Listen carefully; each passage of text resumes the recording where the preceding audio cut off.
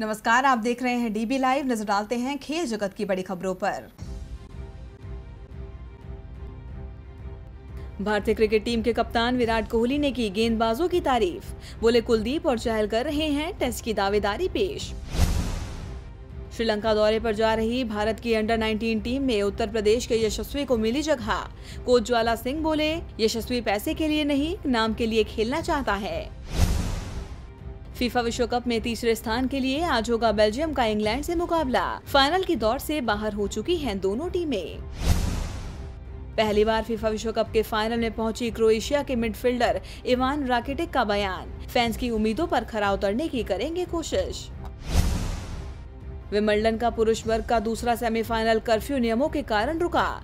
Serbia के Novak Djokovic और Spain के राफेल नडाल नहीं खेल पाए पूरा मैच। विमल्डन के फाइनल में दक्षिण अफ्रीका के केविन एंडरसन ने किया प्रवेश। सेमीफाइनल मुकाबले में अमेरिका के जॉन स्नर को दी मात।